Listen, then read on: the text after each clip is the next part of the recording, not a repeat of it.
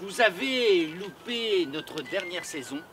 Nous revenons bientôt pour la quatrième saison des balades historiques de Saint-Cloud avec le jardinier Le Nôtre qui a dessiné les jardins du parc de Saint-Cloud, avec la Palatine, la deuxième femme de Monsieur, avec le compositeur Gounod, et puis bien sûr euh, la destruction du château de Saint-Cloud sous le règne de Napoléon III.